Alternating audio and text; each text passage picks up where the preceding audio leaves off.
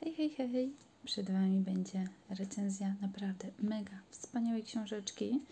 Jest to trylogia Moon, część trzecia. Przypomnij ona z gwiazdą pani Weroniki Schmidt. Książeczkę mam od wydawnictwa Imagine Books, a premierę miała 27 stycznia 2023 roku. Do tego mam też wspaniałą zakładeczkę, którą mogłam sobie dołożyć. I mam tu najpierw dla Was cytat.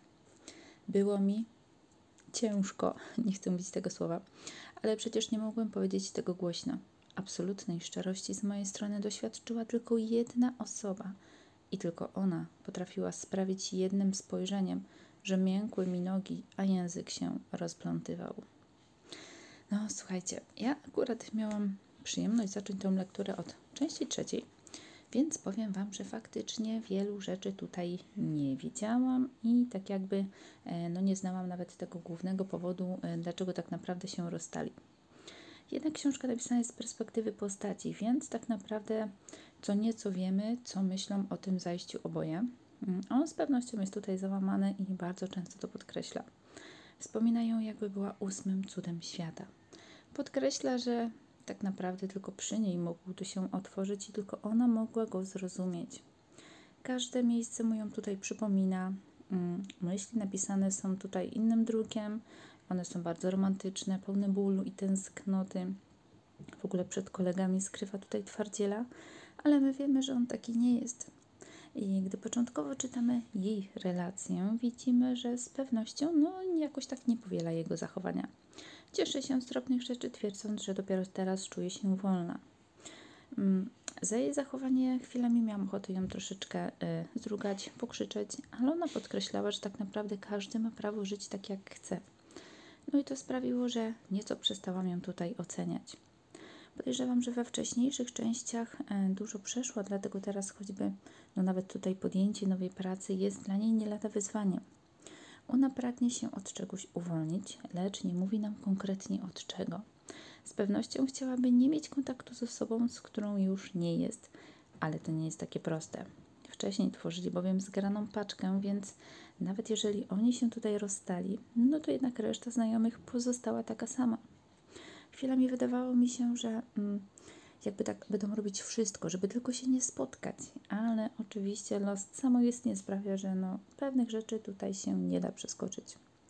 Chyba najbardziej bolesna jest tutaj ta sytuacja dla niego, gdy, gdyż no, on jakby naprawdę chciałby tutaj do niej wrócić. Tylko pytanie, czy ona tego chce.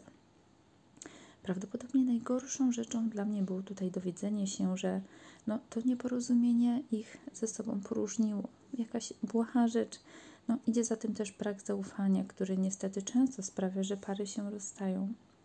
Autorka pokazała też pewne młodzieńcze problemy z odżywianiem. No, powiem Wam, że oddała tym taki dość realistyczny pogląd na świat.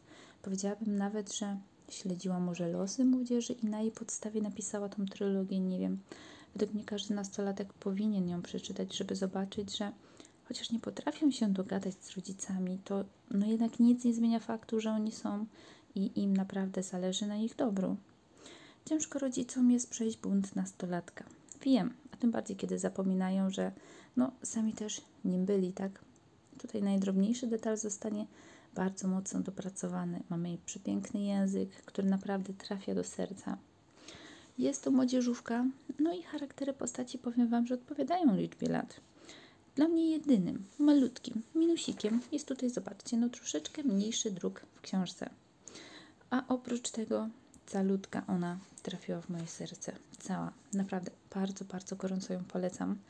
Ale może zacznijcie czytać od części pierwszej, gdyż to, czego tu nam nie mówią, zdarzyło się właśnie wcześniej. Często do tego powracają, do pewnych schematów, a pamiętasz, a to i, i to wtedy wiemy, że zdarzyło się wcześniej. Więc zaczynanie trylogii od części trzeciej nie było najlepszą sprawą, aczkolwiek książka ma u mnie całą dziesiątkę za całokształt, naprawdę pięknie wydana, pięknie opisana, bardzo romantyczna, przejmująca i przede wszystkim taka prawdziwa. Mega, mega pokłony dla autorki. I ja się z Wami żegnam i do usłyszenia. Hej, hej!